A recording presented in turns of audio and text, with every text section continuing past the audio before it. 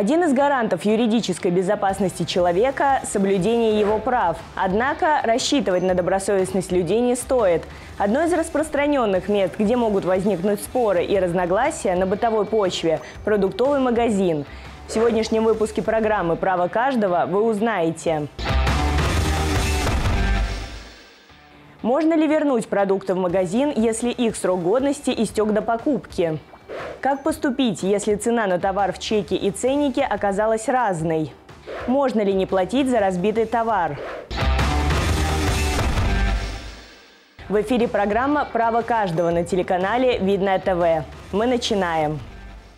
Магазин – место, куда каждый приходит за товарами первой необходимости. Постоянный спрос людей повышает темп работы сотрудников магазина, которым необходимо вовремя убирать просроченные продукты, заменять ценники и многое другое. Однако не всегда это получается сделать в срок. Максим пришел в продуктовый у дома за молоком. Деньги он рассчитал по старому ценнику и взял с собой определенную сумму. Однако на кассе оказалось, что товар подорожал. И вместо положенных 59 рублей Максиму предлагалось заплатить по новой цене 85 рублей. Быстро сориентироваться в такой ситуации сможет далеко не каждый. Важно знать, как остаться на стороне закона и при этом не потерять деньги. В этом вопросе нам помогла адвокат Видновского филиала Московской областной коллегии адвокатов Елена Матренина. Одна из самых распространенных ситуаций, конфликтных в супермаркетах, магазинах, это разница в цене на этикетке в чеках. И чаще всего сотрудники магазина находят свое оправдание в том, что якобы они не успели заменить эти чеки, была акция, а теперь они вот не успели, пока товар выставляли. Ну, нам всем известно, в принципе, в бытовой ситуации о таких а, проблемах в магазине. И, конечно, покупатели склоняют при этом оплатить продукцию именно по той цене, которую пропечатал кассовый аппарат. Однако у нас есть статья 10 Закона о защите прав потребителей. Продавец обязан предоставить покупателю достоверную информацию о товаре. Вы имеете право требовать оплаты товара по тому а, ценнику, который в данный момент указан на полке магазина. А если уже оплатили, вот случилось такое, то требуйте вернуть разницу, ссылаясь опять же на цену на полке. Максим не растерялся, ведь он знал, как повести себя в такой ситуации. Извините, но вы пробили молоко по цене, которая выше, чем указано в ценнике. Хорошо, сейчас разберемся с вашей ситуацией, позовем администратора, администратор подойдет, все выясним.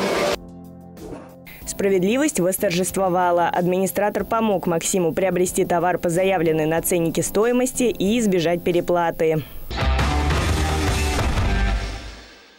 Молоко Максим купил, однако при оплате не посмотрел на срок годности товара. Дома оказалось, что приобретенное молоко просрочено. В принципе, у всего есть свои плюсы. Из такого молока могут получиться неплохие блины.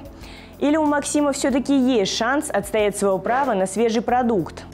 По общему правилу, пищевые продукты обмену и возврату не подлежат, даже если покупатель передумал это сделать сразу же после оплаты. Однако закон предоставляет такое право сделать возврат товара пищевого в том случае, если он не соответствует санитарным требованиям, как-либо испорчен, просрочен. Чтобы вернуть испорченный продукт, необходимо обратиться к администратору магазина, при этом предъявить чек или копию чека, ну, соответственно, предъявить испорченный товар. И, кстати говоря, даже отсутствие чека – это не повод для отказа вам в возврате денег. Не забудьте взять с собой документы, удостоверяющие вашу личность.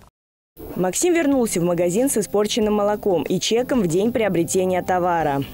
Знаете, я сегодня молоко приобрел, а оно оказалось просроченным. Помогите, пожалуйста, в этой ситуации. Да, хорошо, сейчас мы вызовем администратора, с вашей проблемой разберемся. Наш герой заменил просроченный продукт на свежий, а администратор помог ему оформить возврат товара ненадлежащего качества, чтобы заново оформить покупку. На следующий день молодой человек отправился все в тот же магазин, но уже за бутылкой воды. Желанный продукт стоял на полке ближе всего, и это сыграло с Максимом злую шутку. Что делать с испорченным товаром? Придется ли возвращать магазину убыток? Если покупатель уронил, испортил, разбил какой-то товар в магазине, до тех пор, пока он не оплачен, товар считается собственностью магазина. Соответственно, покупатель не должен за это платить, Если, конечно, он не сделал это специально, то есть умышленно. Ситуация разбирается каждая конкретно.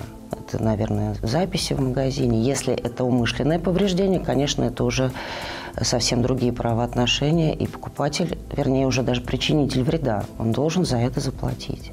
На звуки бьющегося стекла к стеллажу подошел администратор, однако наш герой знал, как действовать. Я разбил бутылку, случайно задел, но я оплачивать ее не собираюсь, потому что она шатко стояла, и как бы, я не обязан оплачивать. Нет, в данной ситуации это не ваша вина. У нас тут нет ограничителей, и вы можете не оплачивать этот товар. Администратор отнесся к ситуации с пониманием. Максиму не пришлось оплачивать разбившийся товар.